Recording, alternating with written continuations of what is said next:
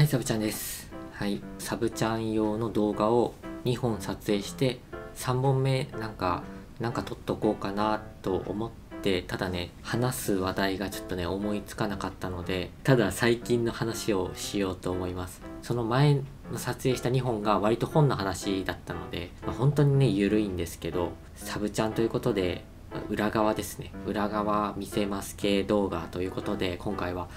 お話ししていこうかなって思います。だから今日やることはあれです。あのもう今撮ったサブちゃんの動画を編集するっていう。サブちゃんの編集って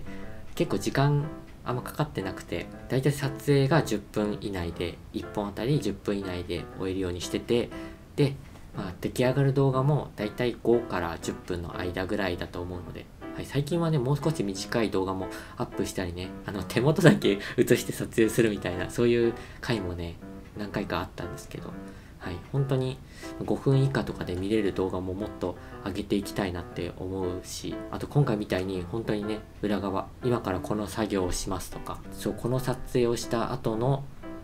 動画ですみたいな、なんですかね、最初にイメージしてたサブちゃんってこういう動画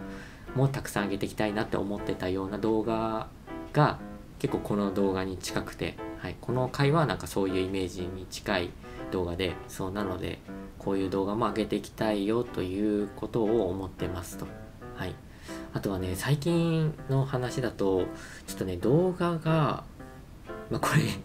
何回もねいろんなとこで話しちゃうかもなんですけど撮影したい動画が滞あじゃ撮影したい動画が結構渋滞しててなんかね結局ね後の方にどんどんね追いやられていくっていうスパイラルがね今起こり始めてます。はい。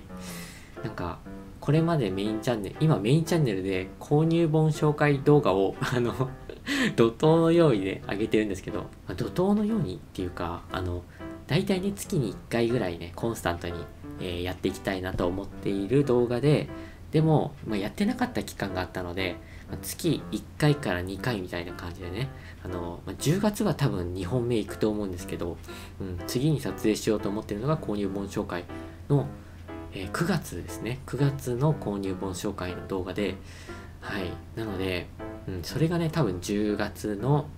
下旬ぐらいにようやく出せると。はい。なのでやっとね追いつきました。ずっとねタイムラグがある状態でやってて。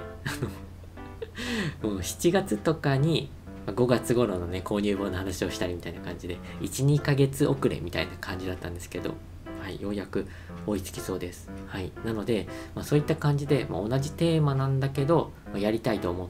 ている動画なので、まあ、撮影してね作ってアップするっていう動画がある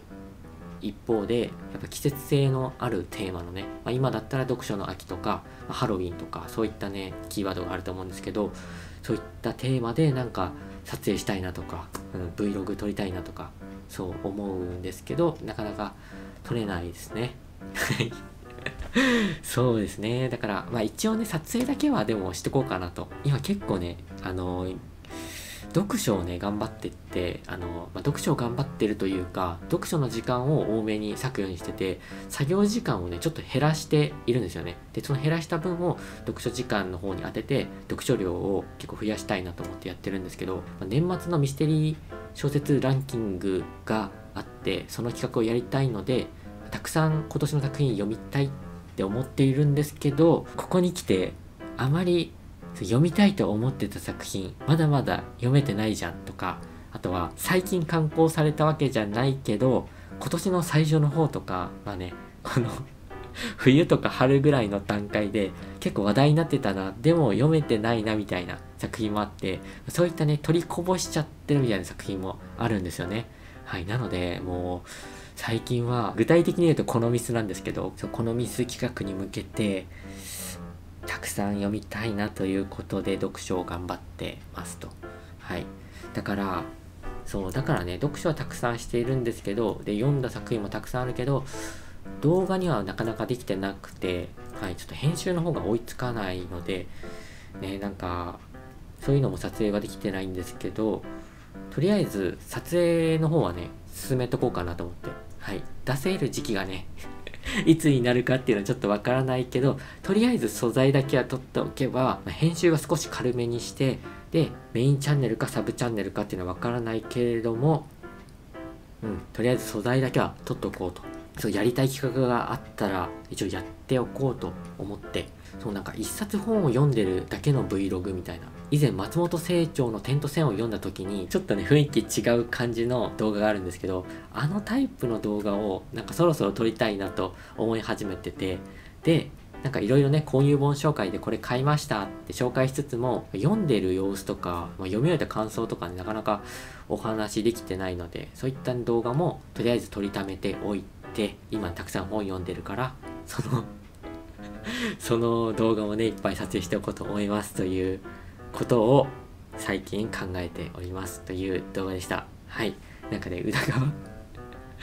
なんかねこういう話する時って結構ねこういうことを考えててこういうこと今できてなくてなんかそんな感じなんですみたいな話をすることがね 多くなってしまうんですけど今回もねそういう感じでしたね。一応ねこういう裏側の動画を撮っておくことで後で見返した時に、まあ、編集しながらとかなんですけどあこの時はこういうことを思ってたんだなみたいな、まあ、そういったこともね分かったりするのでミステリー小説を紹介している YouTuber 活動の裏側みたいな感じの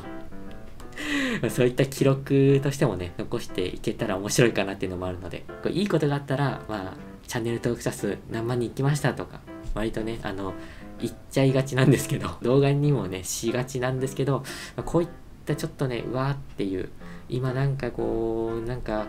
うまくできてないんだよなみたいなのもねちゃんとカメラを回して撮影しておこうと思います。はい。まあそれがね、出す、出せないはわかんないんですけど、はい、記録として撮影していきます。というわけで今回は YouTube の撮影の裏側ということで結構ね緩めのトークを展開してきたんですけど今回こんな感じの動画も面白かったよと裏側見えて嬉しいですと思っていただけた方は是非コメント欄で教えていただけると嬉しいです。あとはサブチャンネルでこんなこと話してほしいですなどリクエストありましたら是非合わせてよろしくお願いします。今回の動画も最後までご視聴いただきありがとうございました。それではまた次の動画でお会いしましょう。バイバイ。ありがとうございました。